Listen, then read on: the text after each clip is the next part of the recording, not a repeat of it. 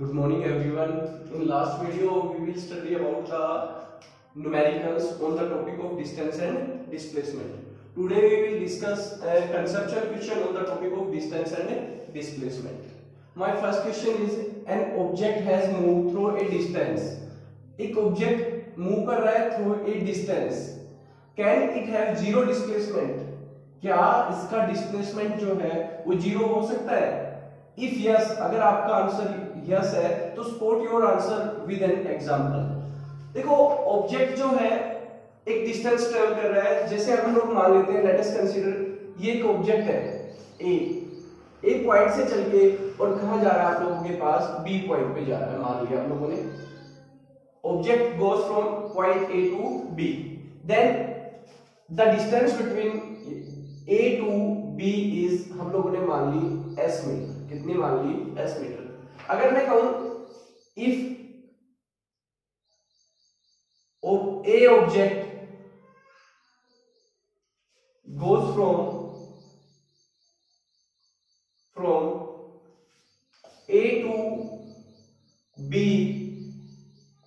and then returns to back initial point initial point a in that case the distance travel is in that case distance traveled किसके बराबर आ गया बेटा a to b plus b to a a to b की distance कितनी है s b to a की distance भी कितनी है s तो टोटल डिस्टेंस ट्रेवल होगी 2s बट अगर हम लोग इसी केस के अंदर अगर हम लोग डिस्प्लेसमेंट कैलकुलेट करें तो डिस्प्लेसमेंट जो आप लोगों के पास आ गया डिस्प्लेसमेंट कितना आ गया आप लोगों के पास? ए ही इनिशियल पॉइंट है और ए ही फाइनल पॉइंट है। तो इनिशियल और फाइनल पॉइंट अगर सेम हो तो उस केस के अंदर डिस्प्लेसमेंट की वैल्यू कितनी हो सकती है? ज़ीरो हो सकती है। क्यों? If initial point is same initial point same हो किसके? आप लोगों के पास S final point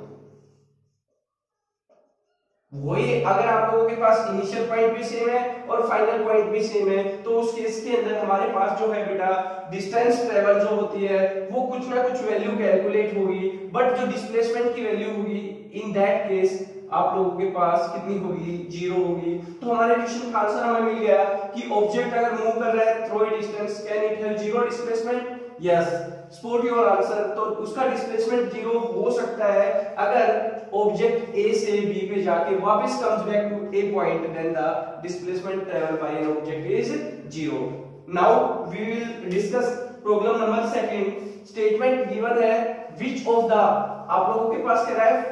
Which of the following for displacement is true? जो सिचुएशंस दी हुई है, इन सिचुएशंस में आपसे ये पूछ रहा है कि इनमें से कौन सी सिचुएशन जो है, वो डिस्प्लेसमेंट के लिए ट्रू है? तो हम दोनों सिचुएशंस को वन बाय वन डिस्कस करते हैं। तो हमारे पास पूछा है ट्रू और किसके लिए पूछी हुई है? डिस्प्लेसमेंट के लिए। तो फ़र्स्ट सिचुएशन है इट इट का मींस यहाँ पे डिस्प्लेसमेंट से displacement can not be zero displacement zero नहीं हो सकता। हो सकता है? क्यों नहीं हो सकता? अब हम लोग अपने अगर प्रॉब्लम नंबर टू के फ़र्स्ट पॉइंट का आंसर दें तो ये कह रहा है displacement can not be zero हम बोलेंगे डिस्प्लेसमेंट ज़ीरो हो सकता है कब? डिस्प्ले ये अगर सबसे पहले तो आप लोगों से पूछे ये स्टेटमेंट ट्रू है नॉट ट्रू तो कैसी है? फ़ोन से आप लोगों के पास। बिकॉज़ रीजन पूछे। Because displacement displacement can be zero displacement can be zero first situation में पढ़ा कि डिस्प्लेसमेंट अभी हम लोगों ने इससे पहले जो प्रॉब्लम डिस्कस की, उसमें यही पढ़ा कि डिस्प्लेसमेंट ज़ीरो हो सकता है। कब? If initial point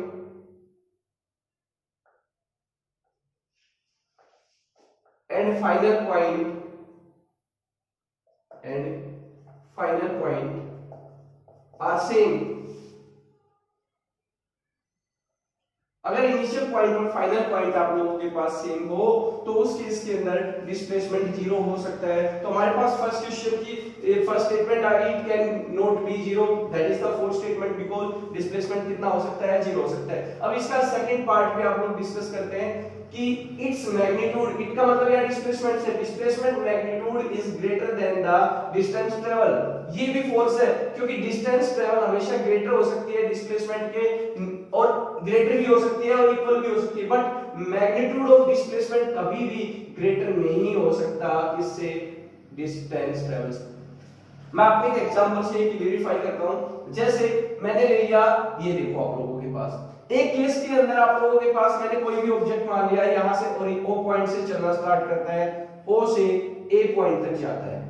तो ए पॉइंट पे आ गया। और ओ से ए के बीच की डिस्टेंस आप लोगों के पास मैंने मान ली अज्यूम करो 5 मीटर अब उसके बाद ऑब्जेक्ट ए से वापस जो है बी पॉइंट के ऊपर आ जाता है और ये डिस्टेंस मैंने मान ली आप लोगों के पास थ्री मीटर हम बोलेंगे ए से चलना स्टार्ट किया, कहाँ पे गया? ए पे गया. ए से चलना स्टार्ट किया, कहाँ पे गया आप लोगों के पास? बी पे गया. तो ए इनिशियल पॉइंट हो गया और बी क्या हो गया? फाइनल पॉइंट तो ये हमारे पास आ गया इसका इनिशियल पॉइंट इनिशियल पॉइंट और ये बेटा आप लोगों के पास आ गया फाइनल पॉइंट ठीक है? तो हम दोनों केसेस के अंदर अगर आप लोगों के पास डिस्टेंस और डिस्प्लेसमेंट निकालना हो तो मैं यहाँ देखो डिस्टेंस निकालता हूँ। तो डिस्टेंस क्या होती है? अभी आप लोगों ने लास्ट वीडियो में देखा कि डिस्टेंस जो होती है actual path length covered by an object during motion तो एक्चुअल तो पाथ क्या है? डिस्टेंस ओ से ए गया है ओ ए और ए से फिर अगेन कहाँ पे आया है? बी पे गया है. तो हमारे पास ओ से ए के बीच की डिस्टेंस कितनी है? 5 मीटर है. बट आप लोगों के पास ए टू बी कितनी है? 3 मीटर है. तो हमारे पास डिस्टेंस ट्रेवल कितनी आ गई? 8 मीटर अब इसी केस के अंदर अगर हम लोग डिस्प्लेसमेंट निकालें तो डिस्प्लेसमेंट की भी हम लोगों ने डेफिनेशन स्टडी की है कि shortest distance between initial and final point तो यहाँ से और यहाँ तक, ये हमारे पास शॉर्टेस्ट डिस्टेंस बनेगी, जो हम लोगों के पास डिस्प्लेसमेंट निकालने के काम आएगी। तो देखो टोटल डिस्टेंस 5 मीटर है। 5 में से 3 ये होगी तो ये रिमेनिंग डिस्टेंस कितनी बच आप लोगों के पास? 2 मीटर तो हमारे पास डिस्प्लेसमेंट कितना आ गया? 2 मीटर आ गया। अब क्वेश्चन ये कर रहा है कि डिस्प्लेसमेंट जो है, वो ग्रेटर आया किसके कंपैरिजन में? डिस्टेंस के कंपैरिजन में। ऐसा क्वेश्चन ने पूछा है बट यहाँ तो उल्टा है। यहाँ ये आप लोगों के पास डिस्प्लेसमेंट ग्रेटर नहीं आ रहा। कौन ग्रेटर आ रही है? डिस्टेंस आ रही है। डिस्टेंस किसके ग्रेटर आ रही है? डिस्प्लेसमेंट के। डिस्प्लेसमेंट के। तो हमारे पास कौन सी स्टेटमेंट आप लोगों के पास सही है? Not given in the questions आप लोगों के पास कि magnitude of displacement is greater than distance travel clear next problem. If we walk from one corner of the basket, basketball court to its opposite corner basketball का जो court है, उसके एक कॉर्नर से चलते हुए हम लोग कहाँ जा रहे हैं? अपोजिट कॉर्नर पे जा रहे हैं। तो कह रहा है opposite corner along its side and measure the distance covered and displacement कह रहा है the different what difference would you notice between two measurements? जो डिस्टेंस और डिस्प्लेसमेंट निकालेंगे, उसके अंदर हम लोग क्या डिफरेंस मेज़रमेंट करेंगे? तो देखो, आप लोग बास्केटबॉल कोर्ट का डायग्राम बना लेते हैं। ये मैंने बास्केटबॉल बॉल का कोर्ट बना लिया बास्केटबॉल कोर्ट बना दिया। जिसके अंदर मैंने यहाँ से स्टार्ट किया ओ पी क्यू आर मान लिया जाए ए पॉइंट इसका इनिशियल पॉइंट है। इनिशियल पॉइंट क्या है? हमारे पास हमने मान लिया कि बास्केटबॉल कोर्ट का इनिशियल पॉइंट इनिशियल पॉइंट क्या मान लिया हम लोगों ने? ए मान लिया। ओ सॉरी ओ ओ है इनिशियल पॉइंट और फाइनल पॉइंट कहाँ है? अपोजिट कॉर्नर पे। अगर हम फाइनल पॉइंट की बात करें तो हमारे पास फाइनल पॉइंट आ गया आप लोगों के पास क्यू तो यानी कि ओ से चलना स्टार्ट करेगा और क्यू पे जा, जा रहा है। यहाँ से एंट्री कर रहा है और यहाँ पे पहुँच रहा है आप लोगों के पास। तो एक तो ओ से पी पाथ के अकॉर्डिंग जाएगा और एक ये आप लोगों के पास इसका शॉर्टेस्ट डिस्टेंस होगी शॉर्टेस्ट डिस्टेंस को हम लोग क्या बोलते हैं? डिस्टेंस तो हमारे पास दो चीज़ें पूछी गई है कि measurement of distance covered and measurement of displacement इन दोनों के बीच में क्या डिफरेंस है? हम लोग क्या मेज़रमेंट कर पा रहे हैं? तो हम सबसे पहले लेट मान लेते हैं, हम लोग डिस्टेंस निकालते हैं। क्या निकालते हैं? डिस्टेंस डिस्टेंस क्या होगी? ओ से प्लेयर पी पॉइंट पे गया है और पी पॉइंट से किस पे गया है? क्यू पॉइंट के ऊपर गया है। तो अज्यूम करो, कोई वैल्यू हम लोग इनको मान लेते हैं। फॉर एग्जांपल ये मैंने बास्केटबॉल कोर्ट मान लिया, ये रेक्टेंगुलर मान लिया स्क्वायर मान लिया रेक्टेंगुलर मान लिया। तो रेक्टेंगुलर मान लिया। तो ये साइड और ये साइड इक्वल होगी लेट मान ली मैंने, ये 5 मीटर मान ली। और ये साइड जो है मैंने 8 मीटर मान ली।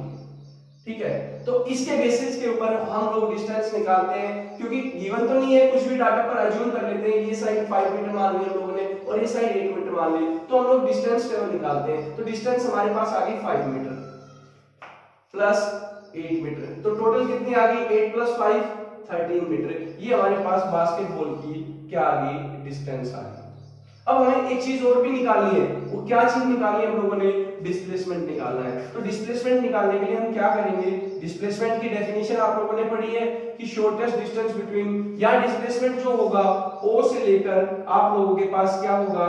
ओ क्यू का square is equal to OP का स्क्वायर प्लस पी क्यू का स्क्वायर तो क्यों ना हम लोग ये जो वैल्यू है डिस्प्लेसमेंट की, इसको निकाल लेते हैं, ये हमने डिस्प्लेसमेंट माना है आप लोगों के पास, इसकी वैल्यू को निकालते हैं हम लोग। तो देखो, यहाँ हम वैल्यू पुट करते हैं ओपी की वैल्यू कितनी है? 5 तो 5 कर दिया बेटा 5 का स्क्वायर ये कितनी है? 8 8 का बेटा मैंने स्क्वायर कर दिया। और ओ आप लोगों के पास यहाँ, इसका मैंने स्क्वायर कर दिया। सिंपलीफाई करो 25 और 8 का स्क्वायर करें तो 64 इसको सॉल्व करें तो 9 और कितना आ गया आप लोगों के पास? एट आ गया। ओ क्यू का स्केल कोई भी वैल्यू हो सकती है। तो हमारे पास ओ क्यू आ गया। वो अप्रोक्सीमेट कितना आ गया आप लोगों के पास? अंडरूट 89 मीटर आ गया। अब 89 की वैल्यू देखी जाए तो आप लोगों के पास, देखो 8 का सॉरी 9 का स्क्वायर करें तो हमारे पास 81 आती है। 10 का स्क्वायर करें तो हमारे पास 100 आता है। इसका मतलब ये जो वैल्यू है 8 और 9 के इन बिटवीन एग्जिस्ट कर रही है। कैलकुलेट कर सकते हैं 89 का एग्जैक्टली अंडर द रूट निकालना तो हम लोग अंडर दी रूट निकाल सकते हैं। किसके साथ? 8 9 9 81 फिर यहाँ आप लोगों के पास कितना बच गया? 8 फिर डबल ज़ीरो उतार रहे हैं हम लोग 18 पे। अब ये कितने पे जाएगा पॉइंट लगा के? क्योंकि पेयर आप लोगों के पास एक के बाद एक पेयर आप लोगों के पास उतरता है। तो 9 पॉइंट अब आप लोगों के पास समथिंग वैल्यू जो भी वैल्यू आए, हम लोग इसकी वैल्यू मान लेते हैं। तो हमारे पास कितनी वैल्यू आई? इसको देखते हैं हम लोग। तो ये वैल्यू 8 और 9 के बिटवीन लाइन कर रही है। एग्जैक्टली जो नहीं निकाली हम लोगों ने OQ को मान लेते हैं। 9.3 मान लेते हैं 4 मान लेते हैं या 8 मान लेते हैं, कुछ भी मान लेते हैं। लगभग लगभग 9.5 मीटर मान ली मैंने अज्यूम करो। तो डिस्प्लेसमेंट कितना आ गया? 9.5 फट और डिस्टेंस कितनी आ गई आप लोगों के पास? 13 मीटर। तो इस केस में क्या कंक्लूजन निकला कि जो डिस्टेंस है डिस्टेंस वो ग्रेटर देन आई है किसके? डिस्प्लेसमेंट की। यही चीज़ इन दोनों के बीच में डिफरेंस है कि डिस्प्लेसमेंट जो होती है वो हमेशा छोटी होती है किसके कंपैरिजन में डिस्टेंस के इक्वल भी हो सकती है बट एक ही सिचुएशन में, वो सिचुएशन है कि अगर ऑब्जेक्ट जो है स्ट्रेट लाइन पाथ के अंदर मूव कर रहा हो। और लास्ट प्रॉब्लम को डिस्कस करते हैं, ये सारे जो प्रॉब्लम्स है these problems are given in NCERT NCERT questions के अंदर ये सारी प्रॉब्लम्स वन बाय वन करके डिस्कस की गई है। तो हम लोग लास्ट प्रॉब्लम को पढ़ते हैं। बड़ी इंटरेस्टिंग प्रॉब्लम है लास्ट बड़ी अच्छी प्रॉब्लम है। अच्छे से आपको इसको एक बार देखना है, समझना है। देखो क्या गिवन है। यहाँ जो गिवन है, a train goes from station A ये स्टेशन मान लिया मैंने, ये स्टेशन ए मान लिया, ठीक है? ए से और बी स्टेशन पे जा रही है, जहाँ उसका ये पाथ आप लोगों के पास शो करके दिखाया गया है। ये देखो ए पाथ है, ये कितनी डिस्टेंस दे रखी है? ये 40 किलोमीटर दे रखी है ये कितनी पाथ है? 170 किलोमीटर दे रखी है 170 किलोमीटर दे रखी है। ये कितने किलोमीटर दे रखी है बेटा? 50 किलोमीटर दे रखी है। ठीक है? और ये वो बी पॉइंट है जहाँ एंडिंग है, और ये ये आप लोगों के पास 60 किलोमीटर की बने तो आपसे पूछा, दो चीज़ें पूछी हुई उन्होंने डिस्टेंस बाई डिस्टेंस के लिए इस पॉइंट को क्या मान लो? कोई भी पॉइंट मान लो इसको C मान लिया, इसको D मान लिया और इसको क्या मान लिया? E मान लिया। तो डिस्टेंस कितने के बराबर आ गई? डिस्टेंस तो इजीली निकाल सकते हैं। AC plus CD plus DE plus EB ये टोटल क्योंकि एक्चुअल पाथ लेंथ ट्रेन का पाथ तो ये ए से सी गई सी से डी गई डी से ई गई और ई से क्या गई? बी गई। तो कैलकुलेट करो ए सी कितनी आ गई आप लोगों के पास? 40 सी डी कितनी आ गई? 170 डी कितनी आ गई? 150 और ई बी कितनी आ गई? 60 सबको ऐड कर दो वन बाई वन करके. ज़ीरो टेन और एटीन और फोर ट्वेंटी टू टू और एक थ्री कितनी डिस्टेंस आ गई आप लोगों के पास? अगर हम लोग निकाले तो कितनी आ गई? किलोमीटर, मीटर नहीं, किलोमीटर. कितनी डिस्टेंस आ गई? डिस्टेंस आ गई आप लोगों के पास 320 किलोमीटर. क्या निकालना है? एक चीज़ और निकालनी है हम लोगों ने डिस्प्लेसमेंट डिस्प्लेसमेंट क्या होता है? Shortest path between two initial and final point देखो, ये इनिशियल पॉइंट था ए ये फाइनल पॉइंट है. इन दोनों पॉइंट्स के बीच में आप लोगों के पास डिस्प्लेसमेंट क्या होगी? इनके बीच की शॉर्टेस्ट डिस्टेंस ये बनेगी. देखो। अगर मैं इन दोनों पॉइंट्स के बीच की क्या निकालू? तो डिस्टेंस निकालू। तो डिस्टेंस निकालने के लिए हम लोगों के पास कैसे हम लोग यूज़ करें कि ये आप लोगों के पास डिस्प्लेसमेंट निकाला जाए? तो देखो, एक चीज़ सिंपल सी बात आप लोगों के पास मैं आपको बताता हूँ। हम लोगों ने क्या करना है, ये एक राइट एंगल ट्राइंगल मान लेनी है हम लोगों ने। यहाँ से इसको आप लोगों के पास हमने आगे क्या कर दिया कैलकुलेट बढ़ा दिया।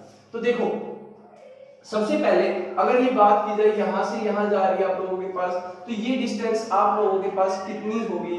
ये आप लोगों के पास, क्योंकि ये ये जो एंगल बन रहा है आप लोगों के पास यहाँ से और यहाँ तक। तो सबसे पहले आपको डिस्प्लेसमेंट निकालना पड़ेगा। तो डिस्प्लेसमेंट निकालने के लिए हम लोगों के पास क्या प्रोसेस बच गया आप लोगों के पास? तो देखो, अगर डिस्प्लेसमेंट निकालना हो तो यहाँ, ये देखो, ये आप लोगों के पास ये वो पॉइंट है। अब इस पॉइंट से मैंने आगे आप लोगों के पास तो ये ए सी और बी। एक राइट एंगल ट्राइंगल बन गई। क्या बन गई?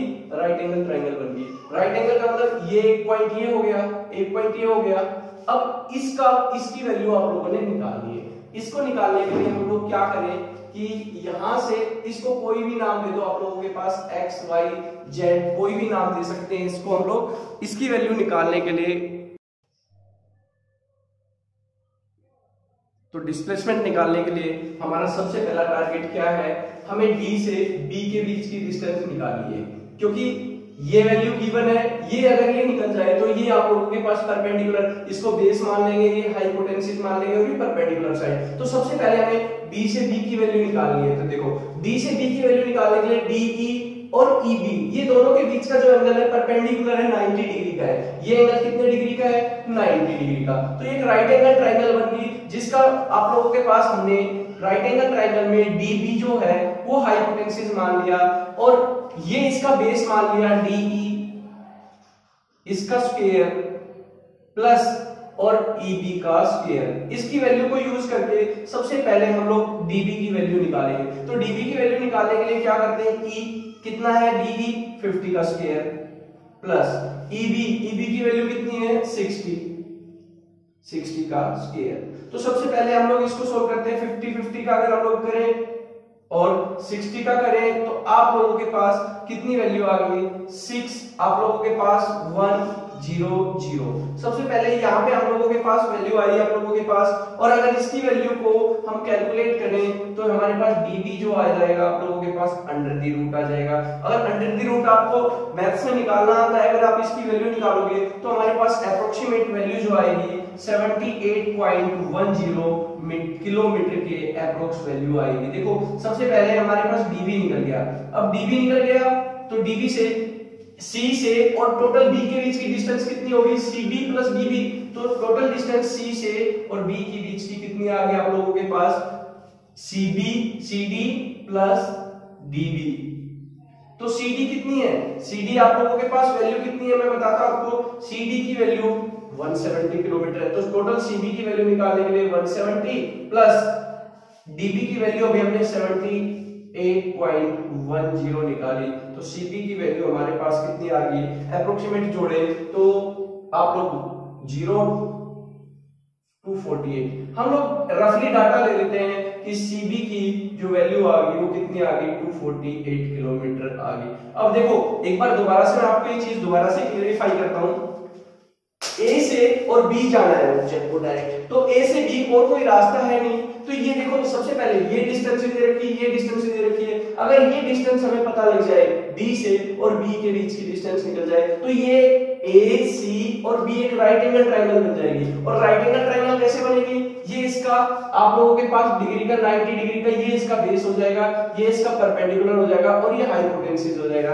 क्योंकि पाइथागोरस कहती है कि हमें कम से कम तीन में से दो वैल्यू तो गिवन हो, तभी हम लोग निकाल सकते हैं वैल्यू तीसरे की कैलकुलेट कर सकते हैं। तो हम सबसे पहले क्या करते हैं? डीबी की वैल्यू निकालते हैं। तो डीबी के अंदर ये देखो ये D से E और E से B, ये एक दूसरे के दोनों परपेंडिकुलर है। परपेंडिकुलर में ये बेस बन गया, ये भी राइट एंगल ट्रायंगल बन गई EB और ये इसका क्या बन गया? हाइपोटेंसिस बन गया। तो हाइपोटेंसिस निकालने के लिए बेस का स्क्वायर प्लस परपेंडिकुलर का square is equal to hypotenuse का स्क्वायर हाइपोटेंसिस क्या हमारा डीबी ये बेस माना ये परपेंडिकुलर माना हमने इन दोनों की वैल्यू का स्क्वायर किया स्क्वायर करके हमने वैल्यू कैलकुलेट की और वैल्यू कैलकुलेट करके डीबी की वैल्यू निकाली अप्रोक्सीमेट 78.10 किलोमीटर की आई अब हम लोगों ने टोटल डिस्टेंस निकाली है सी से बी की, क्योंकि पाइथागोरस के अंदर हम लोगों ने ट्रायंगल ए सी और बी को यूज़ करना है। तो बी के लिए इस ट्रायंगल के लिए हमें पूरी डिस्टेंस चाहिए। तो टोटल सी बी की वैल्यू जो कितनी आ गई? सी बी की वैल्यू जो आ गई, वो C D plus D B और डी बी अभी निकाली आप लोगों ने जस्ट कितनी है?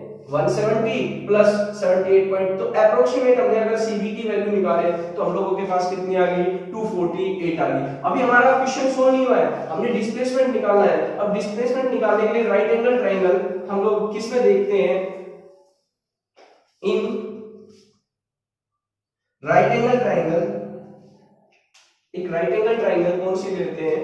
In triangle right angle triangle A C और बी तो एसीबी के अंदर अगर हम लोग चेक करें तो हमारे पास क्या होगा?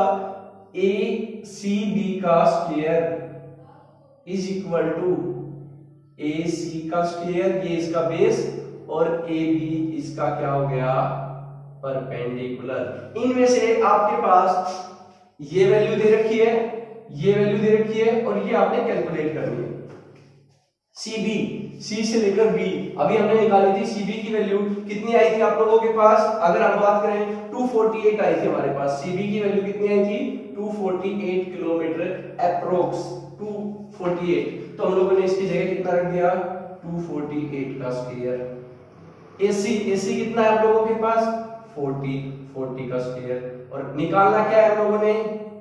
ए का स्क्वायर तो देखो ए के स्क्वायर के अकॉर्डिंग इसका अगर हम लोग स्क्वायर करें तो इसका स्क्वायर करें तो कितना आप लोगों के पास आ जाएगा? इसका स्क्वायर करोगे तो आप लोगों के पास 504 के आसपास आप कैलकुलेट कर लेना और अगर इसका करें तो आप लोगों के पास कितना आ गया?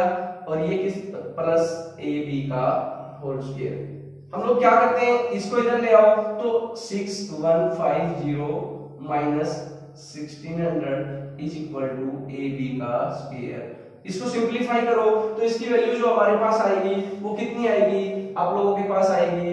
इसको अगर हम लोग सोल्व करें तो हमारे पास आएगी five nine nine zero four is equal to A B का स्क्वायर दोनों तरफ़ स्क्वायर रूट कर दो, इसका भी स्क्वायर रूट कर दो, इसका भी स्क्वायर रूट कर दो। तो ए बी क्योंकि डिस्प्लेसमेंट तो हमारे पास क्या है? ए बी है। तो ए बी निकालने के लिए हम क्या करते हैं? बी इज़ इक्वल टू इसका अगर अंडर दी रूट निकालोगे तो अंडर दी रूट निकालने पर हमारे पास वैल्यू जो आएगी 244.75 किलोमीटर तो हमारा जो डिस्प्लेसमेंट आ गया, वो ए से बी अगर हम लोग लिखें ए से बी अगर हम लोग टू डेसिमल तक रफली अगर डाटा निकाल के देखें तो 245 किलोमीटर तो अप्रोक्स कितना आ जाएगा आप लोगों के पास? तो ये हमारे पास एक बहुत कॉम्प्लिकेटेड सा क्वेश्चन था, इतना इजी नहीं है।